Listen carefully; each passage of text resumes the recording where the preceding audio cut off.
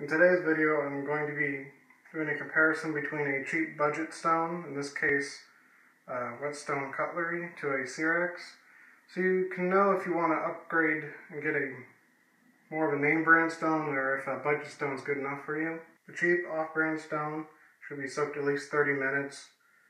Uh, you can do a trial and error which works best for you, but I find if you don't soak it for at least 30 minutes, it gets it's very hard to uh, sharpen on it. It's, doesn't cut very well at all.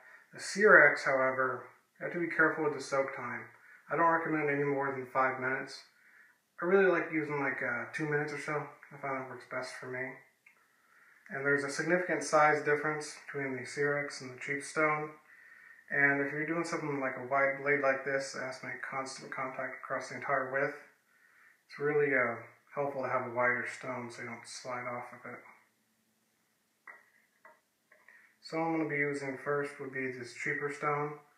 There's, because it doesn't uh, deburr very well, there's a bit of a trick to it.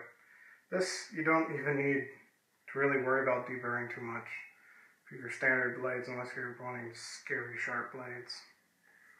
Alright, now let's do a uh, speed comparison on how fast this cuts compared to the uh, Cerax.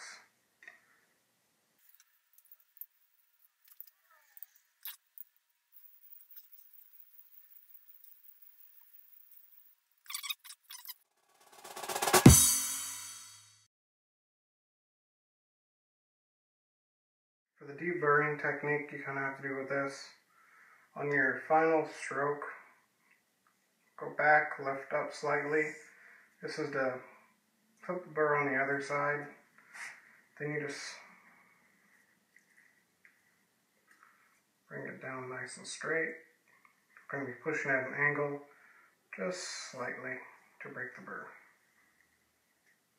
And that's how you uh, deburr. It's really kind of tricky the few things I don't like about the Cerax stone is the coloration of it.